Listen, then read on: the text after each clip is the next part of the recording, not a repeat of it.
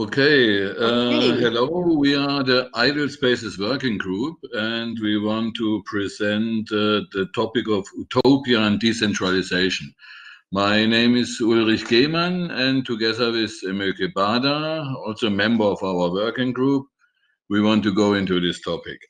Uh, it's uh, might be look a bit unusual to speak about this uh, general this general topic of utopia, but I think uh, related to decentralization, it is very important to to go back to basics a little bit. no? Uh, in our contribution, we will concentrate on positive utopias, so-called utopias, so good utopias, and not on dystopian scenarios, no matter their kind. At first glance, the title Utopia and Decentralization seems to be an overt contradiction because formal traditional concepts of utopias are the very opposite to decentralization. Why? Utopia is about social organization in the end. Its aim is to create the best social organization possible. This act of creation demands an encompassing, means central plan for all relevant social activities, for work, leisure time, education, gender roles, and so on. There is no place, in other words, for decentralized, non planned domains or activities inside the utopian society longed for. Out of these reasons, such a classical form of utopia has been called archistic or rule and power oriented utopia from the Greek word of archein, which means to rule. This is the predominant type of utopia. Related, the utopian order is the final order, the end of history, essentially. The best organization needs not to be ameliorated anymore, otherwise, it won't be the best. And the humans living inside such utopian conditions have no desire to change them, at least according to their planners. If history equals the emergence of the unforeseen, the new, then utopia eo ipso equals the end of history. In line with its Christian heritage, utopia is about redemption. A redeemed humankind does not need to be redeemed any further. Decentralization, on the other hand, can stand as an epitome for that very history that has been surrendered by the utopian state. History is contingency, unforeseeness, and unknown, and hence unsecure future.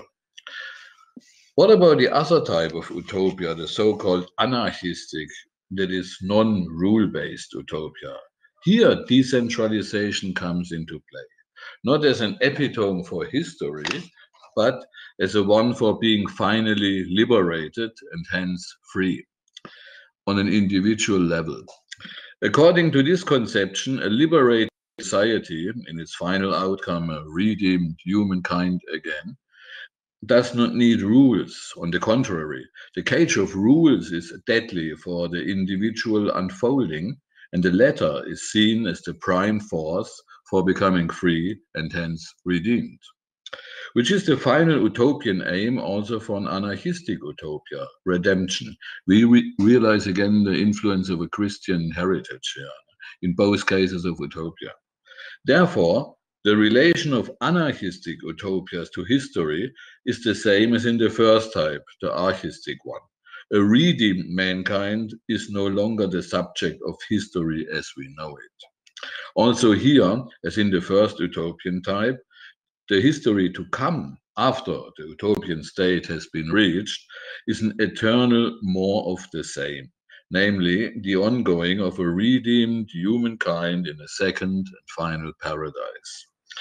An additional perspective shines up. Utopias are intrinsically linked to assumptions about a human condition, or in classical terms of an Occidental understanding of our cultural sphere, of a conditio humana. One is the nature, the very essence of human beings, that they are in need of becoming liberated, even redeemed. Why is this so important? In both versions of utopia, the archistic and the anarchistic one, the rule-based and the decentralized version, humans cannot stay as they are. They have to be ameliorated to achieve a true, means positive, conditio humana. Again, the aim is the same, only the ways to reach it differ to be achieved by central planning, formatting, and management.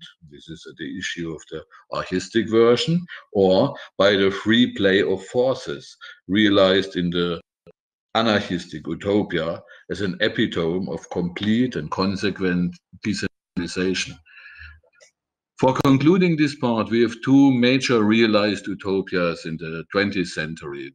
The capitalist version uh, for the anarchistic utopia and the socialist version for the archistic utopia. And both versions failed, clear. No? And interesting is to see why they failed and why they came out as the very opposite to any kind of liberation. Okay, thank you. So it's my turn now. Hi, everybody. My name's also Emöke. Um, so my part is a little bit trying to focus and to also reflect on these ideas as they are working today. So I'm going to start with the quote from Blaise Pascal. Uh, all, all of humanity's problems stem from man's inability to sit quietly in a room alone. So this quote is surprisingly biting in the current context of COVID-19. Technology and travel slash movement has become essential, if not a necessary part of most people's life.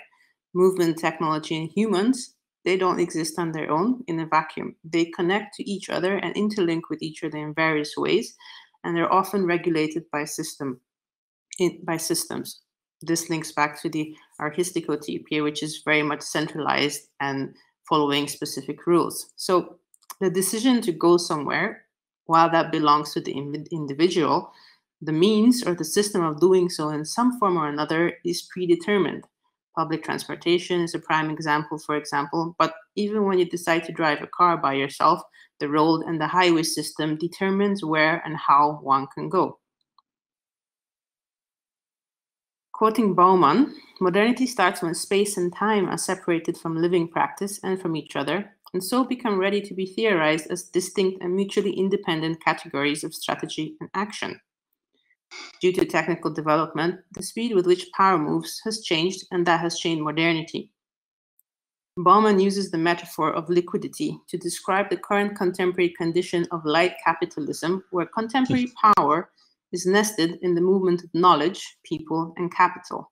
His term, liquid modernity, is no longer constrained by industry bureaucracy, and the panopticon, it allows capital to travel light at electronic speed, and domination consists in one's own capacity to escape, disengage, to be elsewhere, and the right to decide the speed at which all this is done.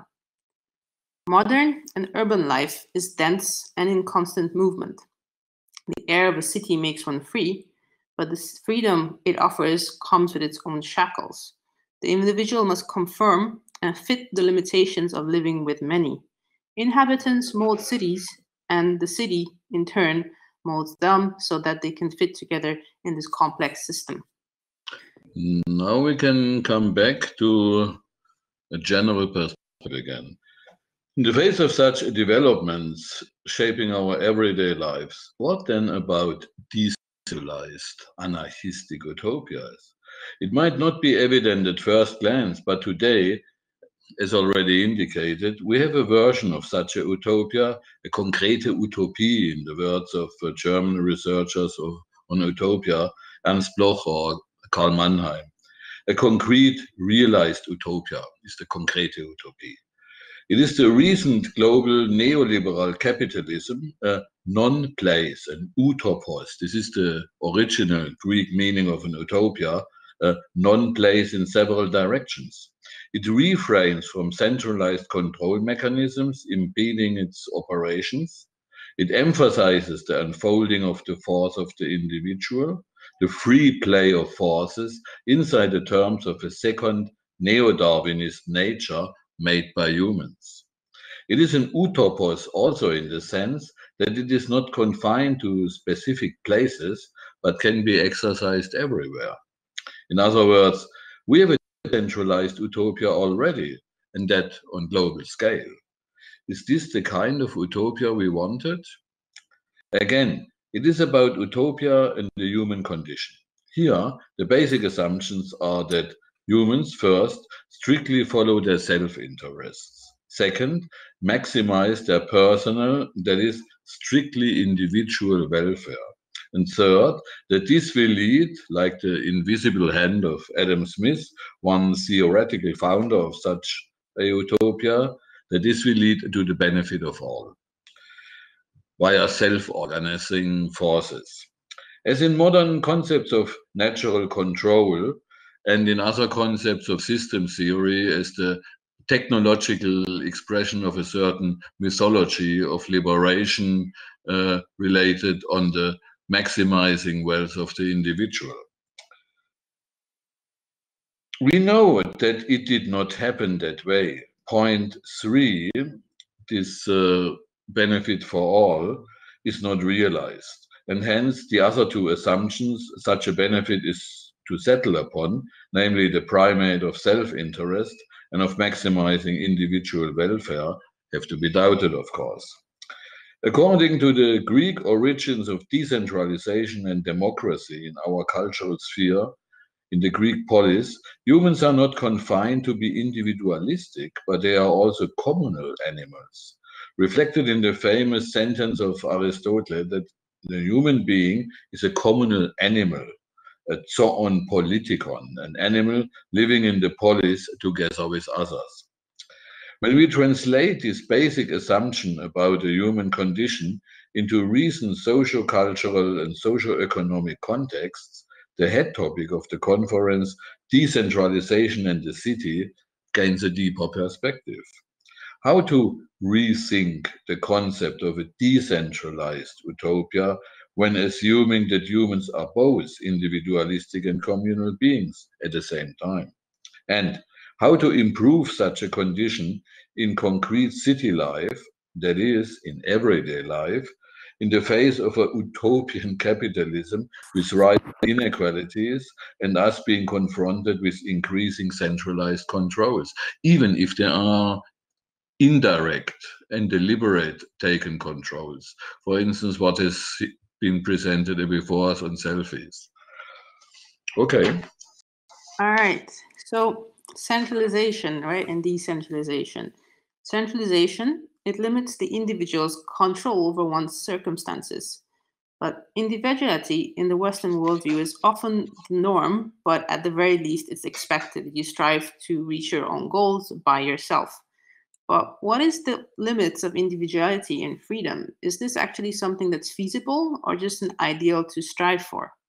Who is a strong individual? Well, one who can carry out their own desires. But is that not something given to everyone? Is that not something everybody can do? Do we have all the same powers? Frankly, and sadly, probably not. Some individuals have more power than others due to the various systems that are in place social, economic, politic, etc. To reach back to Bauman, only powerful individuals can actually experience this power. For everyone else, individuality is a systematically maintained illusion to keep the many weak separately.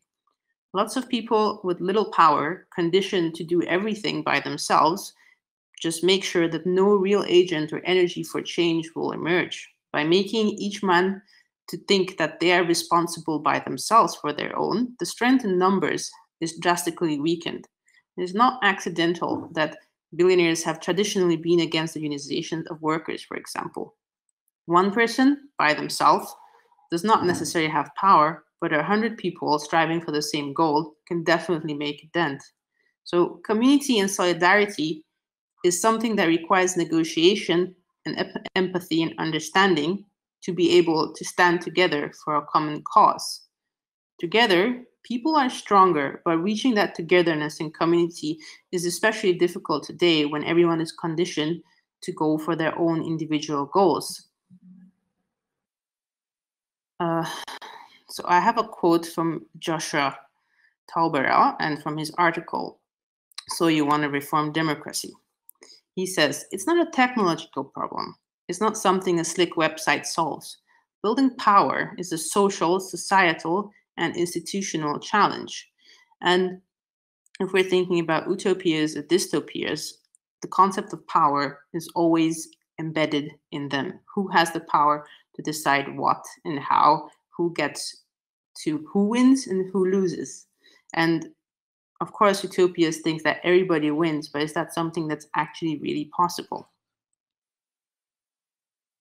So, in the end, just how centralized or decentralized are we today? Is it the contradiction that conventional belief that it's modernity and post, in particular postmodernity, that with internet possibilities that liberated man, we are definitely much more connected than before, but at the same time, this does this interconnectedness mean that we are less prone to doing things? Are there more people living as slaves today than before? Job dependencies, uh, millions of workers in other countries building your iPhones. Uh, how does that link together with the systems of power? So what is the relationship between decentralization and individual freedom in the face of such situations? Is that just an utopian hope or nothing more? Yeah, that's it. No, Thank you very much. yes, so um, we're very happy to have some questions. I think we're still in time. Uh, if anybody wants to ask us about ideas and concepts. Wonderful. Thanks so much, you both. Um, so we have one question in the chat. Um, and folks on the live stream, if you have any others, now is the time to post them. Um, so this is from Brian. Uh, in your research, did you come across utopia proposals around energy technology, um, proposals and principles? Etzler's energy harvesting based off the 19th century, for example?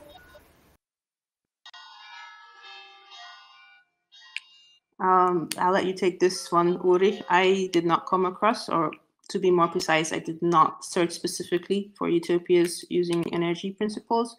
Um, what we were interested, we, what we are also interested in, perhaps someone in the audience also has something to say about this, is um, our research is looking at utopias from a very westernized worldview. So um, in that sense, we do have a lot of limitations of what a utopia is. And uh, if somebody has experience or links towards research that looks at utopias or the ideas of utopias from different cultures would also be interesting. I think the main point with regard to technology uh, and the issue of utopia and decentralization, this is very interesting. So we are in Venice here, no? and this is an unforeseen, an unforeseen uh, historical point. Uh, ringing bell from the church. No? Now it's finished.